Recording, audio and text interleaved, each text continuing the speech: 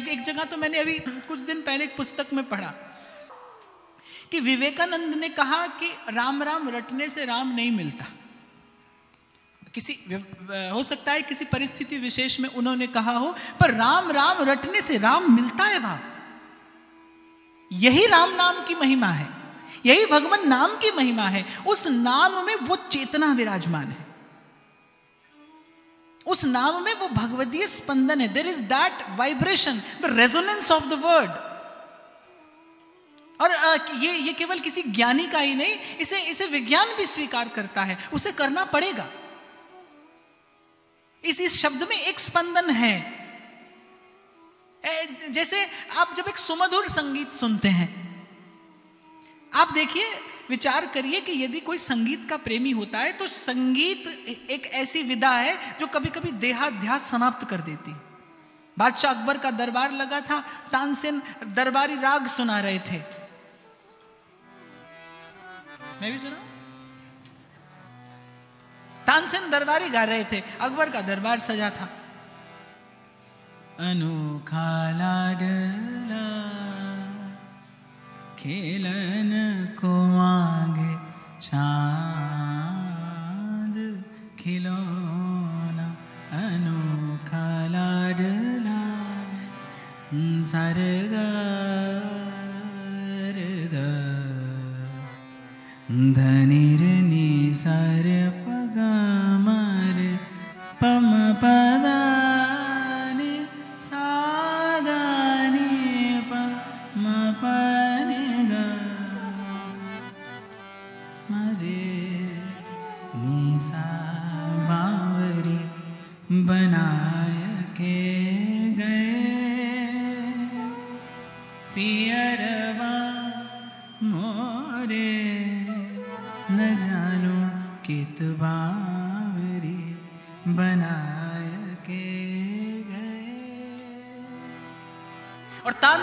देख लिया दाल भात में मूसलचंद। अब उसे बड़ा विक्षेप हुआ। जैसे मैं तो कीर्तन करा रहा हूँ और आप क्या कर रहे हैं? मोबाइल लेकर बैठे हैं ऐसे। ये मेरे लिए एक विक्षेप है। अरे, यहाँ पर बैठे हो। मैंने कई बार आपको कीर्तन का विज्ञान निवेदन किया। आपकी चेतना का ऊर्ध गमन कराने के लिए कीर्तन है। आपकी जीवनी शक्ति का उत्थान कराने के लिए कीर्तन है। राष्ट्रपति को जाना है, जिस रास्ते से उस रास्ते को झाड़ बुहार कर साफ़ किया जाता है। टूटी सड़क हो तो उसे पुनः उसका पुनर्निर्माण कर दिया जाता है। ऐसे भगवान कह रहे मैं तो काम के रास्ते आता हूँ। यथा यथात्मा परिमृजते सो मत पुण्य का गाथा श्रवणा विधान तथा तथा पश्यति तत्व सूक्ष्म मैं कान के रास्ते आता हूँ। तो इस मार्ग को साफ़ करने की विधा है। ये श्रवण, ये कीर्तन तो जब जिस समय ताली बजाने का समय है, उस समय आप मोबाइल लिए बैठे। ये एक ऐसा काल दूत लगा है सबके संग में कि बस पूछिए नहीं। सर्वनाश की ओर जा रहा है जीवन। हंसिए मत। I am not telling you a joke ये बड़ी गंभीर बात है। आप जानते भी नहीं। कि इसका कितना बड़ा दुष्परिणाम आपके जीवन में आ चुका है कि जिस एकाग्रता की आप और मैं बात कर रहे हैं, उस एकाग्रता से आप और मैं कोसों दूर जा रहे हैं, केवल इसके कारण। मैंने देखा है भैया, बगल में पड़ा होगा थोड़ी थोड़ी देर बाद उठाकर देखेंगे, यूँ। उसमें कुछ नहीं है। क्या हुआ? अभ्यास हो गया। अभी अभी कुछ दिन पहले शायद there was a device there was a surface जो बनाया गया है किस लिए कि आपको आपके स्मार्टफ़ोन की आदत खत्म हो जाए। मैंने अभी दो चार दिन पहले कहीं पर एक चित्र देखा। अब एक ऐसा अब बनाया गया है एक यंत्र कि उस पर आप उंगलियाँ चलाएँगे तो कुछ दिनों में आपका स्मार्टफ़ोन पर हाथ चलाने का अभ्यास समाप्त हो जाएगा। बात तो बड़ी छोटी सी है पर इस, ये बात छोटी है लेकिन इसकी घात बहुत ऊँची है। ये बहुत बड़ा घात देती है आपको। आप एकाग्रता से दूर हुए चले जा रहे हैं। और आज जीवन ऐसा हो गया, आप दास हो गए इसके। आप भोजन के बिना रह सकते हैं, आप इसके बिना नहीं रह सकते।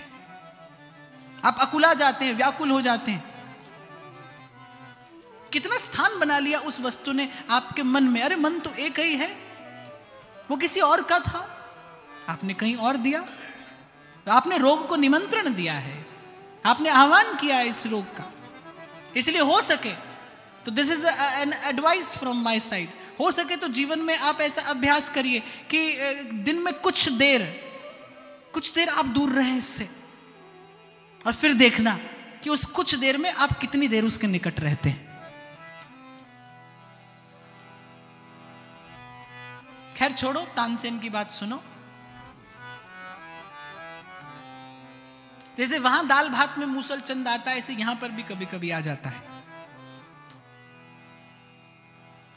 असल में क्या परेशानी है भैया? यही परेशानी है, खाते समय खाएँगे नहीं, सोते समय सोएँगे नहीं। मैं तो आपको मानसिक, वैचारिक अनुशासन में लाने की बात कर रहा हूँ, पर यहाँ तो दैहिक अनुशासन भी नहीं। There is no discipline even at the ignorant level how you will travel to that subtle surface to the divine भगवान के निकट आप ऐसे, इतने विक्षिप्त, इतने विचलित, इतने व्यथित होकर नहीं जा सकते। आपको मार्जन करना पड़ेगा, आपको परिशोधन करना पड़ेगा, आपको नियंत्रण करना पड़ेगा। और हो सके तो कुछ देर दूर रहिए इससे। फिर धीरे धीरे उस काल की अवधि को बढ़ाइए। और फिर जिस दिन आपके जीवन से ये चला गया, उस दिन आप मेरी जगह पर आकर बैठ जाएँगे। हमारे जीवन में नहीं है। उस दिन आप यहाँ पर बैठ जाएँगे। यहाँ पर बैठने का अर्थात चेतना का उत्थान होगा। आप एक साधारण स्तर से उठकर किसी और देश की यात्रा के लिए निकलेंगे।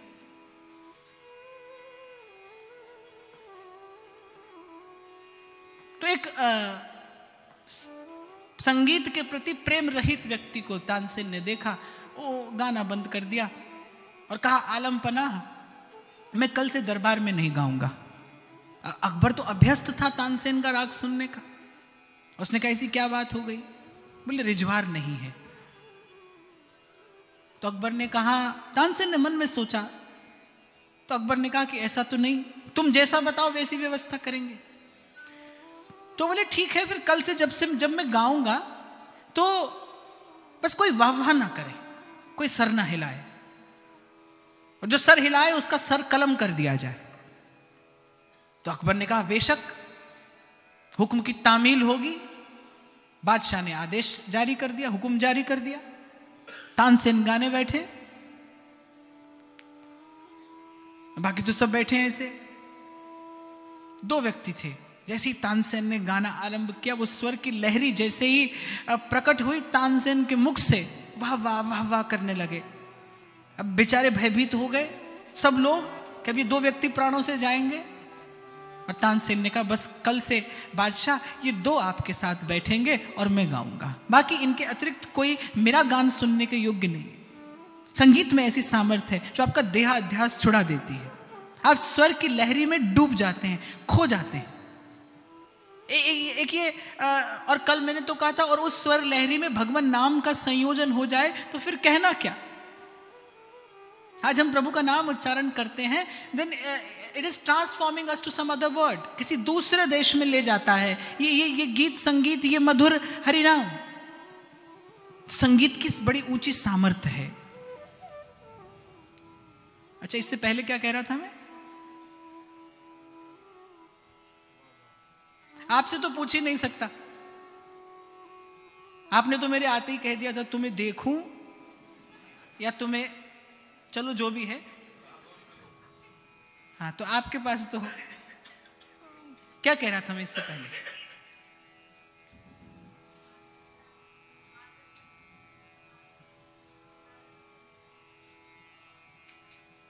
तो जो नाम है, ये ये चित्त के दर्पण पर जमी वो धूल को हटाता है।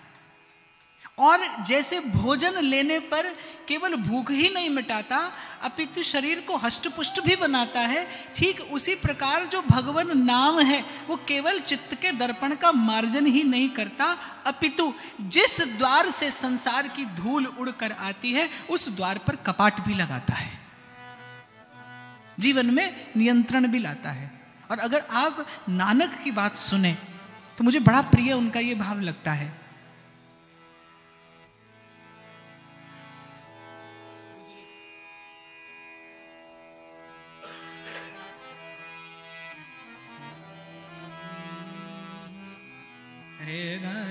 सनि सदन सरे रे घरे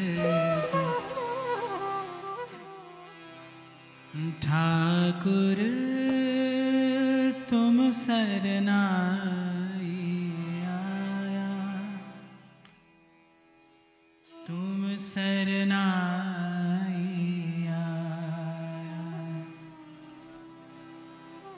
निसधा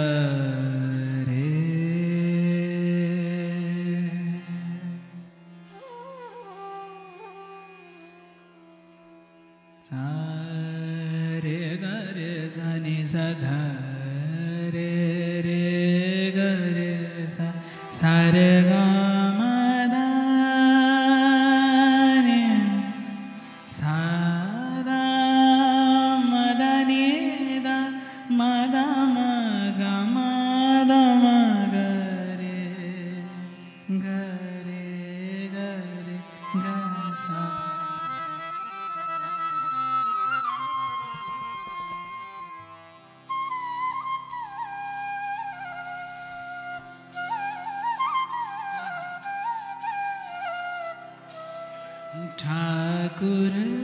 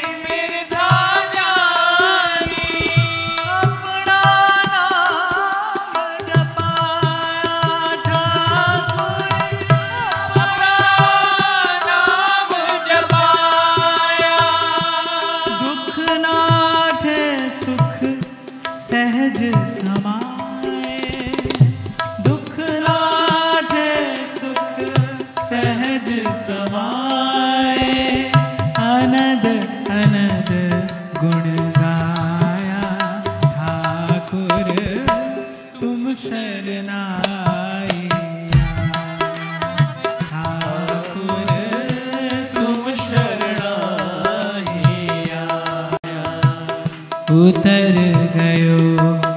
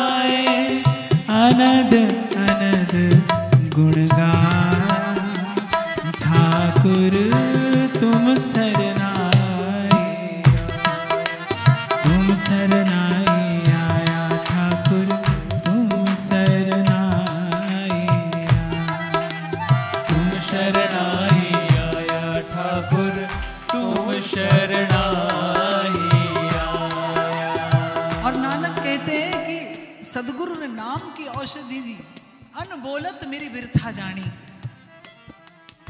और ये मेरे मेरे हृदय की व्यथा दूर कैसे की, बस अपना नाम जपाया। और कहे, नानक गुरु बंधन काटे। बाह पकड़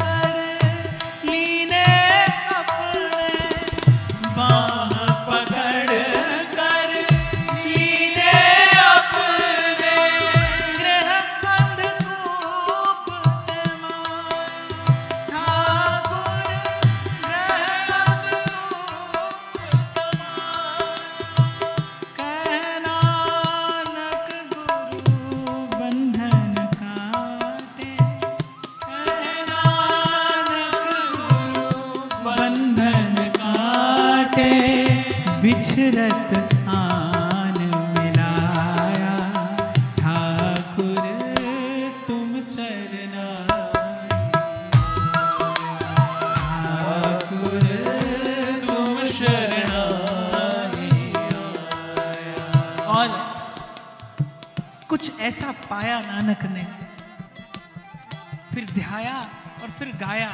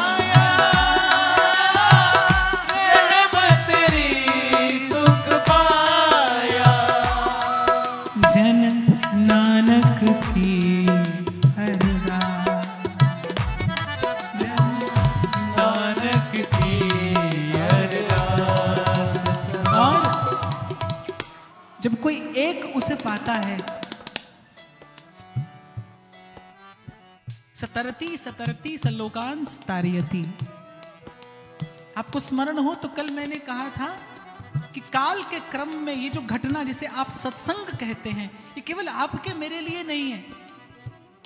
ये ये घटना तो काल के क्रम में अंकित हुई है। ये परमाणु सुरक्षित रहेगा, प्रकृति इसका पोषण करेगी। और जब कोई याचक आएगा, प्रकृति के द्वार पर, तृषा लेकर, पिपासा लेकर, जिज्ञासा लेकर, याचना लेकर तो इन शब्दों से उत्पन्न ये तरंगे कि कहीं कल्याण करेंगी उसका।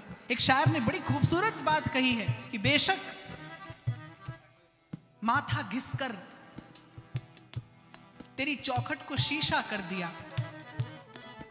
बेशक ये माथा घिसकर तेरी चौखट को शीशा कर दिया, पर आने वाली नस्ल को शीशा मुहैया कर दिया। कोई आकर देखेगा, नानक ने अकेले सुख नहीं पाया। आज जब जब आप और मैं ये शब्द गाते हैं, कहीं हृदय में बैठा कोई है जो सुख पाता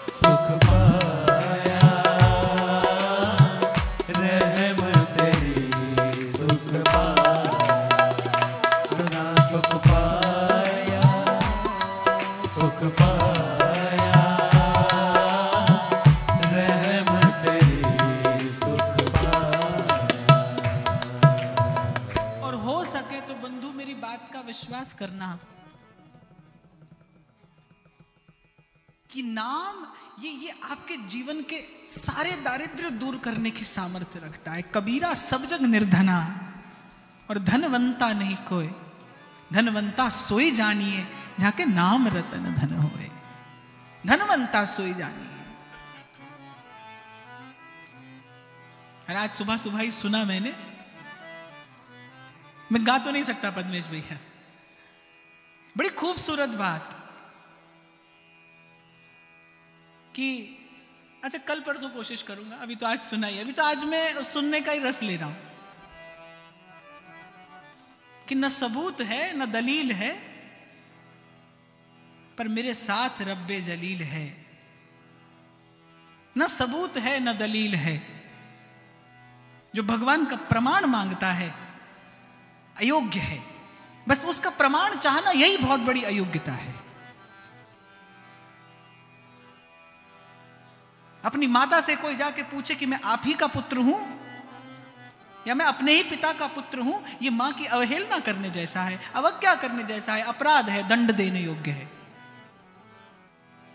तो न सबूत है, न दलील है, पर मेरे साथ रब्बे जलील है। और तेरी रहमतों में कमी नहीं, तेरी रहमतों में कमी नहीं, मेरी एहतियात में ढील है। और बड़ी बड़ी खूबसूरत बात। तेरा नाम कितना है मुक्त सर तेरा नाम कितना है मुक्त सर मुक्त सर माने छोटा सा। एक नाम त्रैलोक ही तारे है और जो न ले सो जन्म ही हारे। तेरा नाम कितना है मुक्त सर पर तेरा ज़िक्र कितना तबील है। तेरी रहमतों में कमी नहीं, मेरे एहतियात में ढील है। है कौन मुझे तुझसे अलग करे? है कौन मुझे तुझसे अलग करे? मैं अटूट प्यास, तू झील है। तेरी रहमतों में कमी नहीं, मेरे एहतियात में ढील है। एक नाम त्रैलोक ही तारे। तो जहाँ से हम शिक्षाष्टक में प्रविष्ट हुए कि नाम औषधि है लेकिन परिणाम दृष्टिगोचर क्यों नहीं होता? क्योंकि औषधि के साथ साथ कुपथ्य किया जाता है। ये जो मैंने अभी आपसे कहा था ना कि आप यहाँ आए आप इस प्रांगण में पाँच दिन रहेंगे आप अ, क्यों नहीं आप अपने मन में विचार करते कि आप पाँच दिन मंदिर में ही है? भगवान का धाम है ये तो। जैसे मीरा वृंदावन का सेवन कैसे करती है? घर घर तुलसी ठाकुर सेवा भोजन दूध दही को। आली माने लागे बिंदरा बननी को। घर घर तुलसी। वो जहाँ देखती है कनक सिंहासन आप विराजा और मुकुट धरो तुलसी को। आली माने लागे बिंदरा बननी को। ये तो अ, और वैसे भी शास्त्र की बात यदि सुनो तो कलयुग का यदि जागृत क्षेत्र है तो वो पुरुषोत्तमपुरी है। ये ये ये कलयुग का जागृत क्षेत्र है। यहाँ आप शुभ संकल्प यदि लेकर जाएँगे तो प्रकृति को उसका पोषण अवश्य करना पड़ेगा। तो केवल यही नहीं। अच्छा एक बात मैं आपसे पूछता हूँ। ईमानदारी से जवाब देना। मैं तीन घंटा तो महात्मा की तरह यहाँ पर बैठकर आपको उपदेश करूँ और 21 घंटा अगर मैं उच्छृंखल सा व्यवहार करूँ तो आपकी श्रद्धा मेरी बात में होगी? नहीं होगी। यदि मैं साधु हूँ तो तीन घंटे का साधु नहीं हूँ। आप यहाँ तो अनुशासित होकर श्रवण करें। अनुशासन आपका नहीं, मेरा है। यहाँ तो आप अनुशासित होकर श्रवण करें। लेकिन यहाँ से बाहर मुझे लगे कि आप लोग यहाँ कथा के लिए नहीं, आप लोग यहाँ पिकनिक के लिए आए हैं तो मुझे मुझे रहस्य की बात आपको कहने में संकोच होगा।